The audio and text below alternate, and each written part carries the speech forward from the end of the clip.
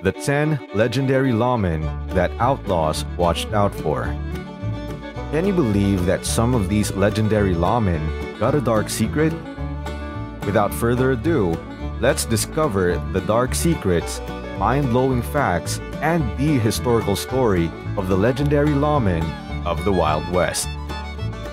Let's start with the man who put the deadly bullet on the chest of the dangerous outlaw, Billy the Kid. Pat Garrett was considered the great sheriff of Lincoln County. But before this honorary title, Garrett had a dark past.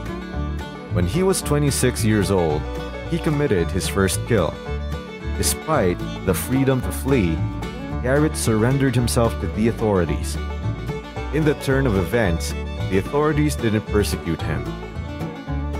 Next, Bass Reeves was the first black deputy marshal. Reeves was a renowned lawman. He had a unique way of catching his targets. He sometimes manipulated stories or dressed as a different person to corner his target. With his extreme dedication to morality, wide experience of the environment, and skills as a gunslinger, he was known to have killed 14 outlaws and arrested 3,000 criminals, with him being completely unscathed. The name Wyatt Earp was what the outlaws feared to hear. He is reputed as the best known lawman of Dodge City and Tombstone for surviving deadly encounters with outlaws. Wyatt, alongside his brothers, took part in the infamous 30 second shootout event known as the OK Corral gunfight. Wyatt was uninjured during the fight, but was arrested for murder.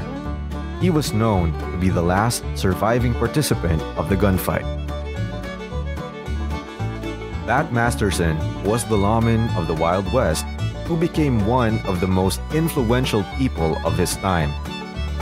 His life was filled with action as he was involved with different gunfights alongside legendary people such as his friend Wyatt Earp. Both of them fearlessly fought outlaws after being a lawman. Bat became a professional gambler and sports journalist. The inspiration for the iconic Lone Ranger is heavily debated.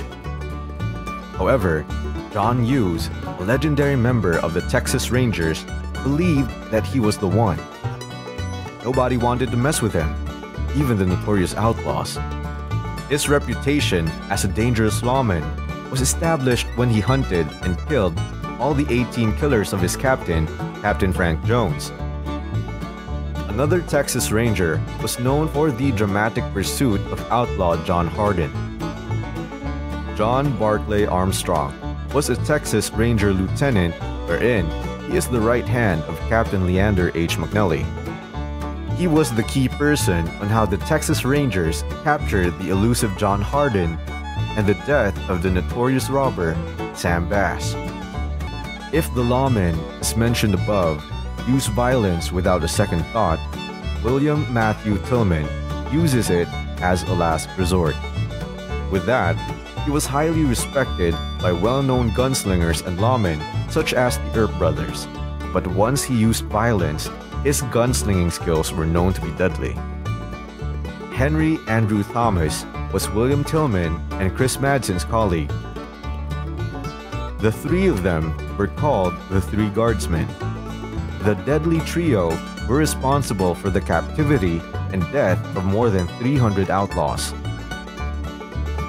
The youngest and notable sheriff of Texas is none other than William Allison. He was once a member of the Texas Rangers who was well known to be confident, rational, and a dangerous gunslinger. Later on, he became an Arizona Ranger but quickly lost the job due to his gambling addiction. Lastly, Henry Wheeler was a distinguished Arizona Ranger who has led the last gunfight in the history of Old West, the Gleeson Gunfight. If you want to know more about the incredible stories of the Wild West, click the following links for more amazing videos.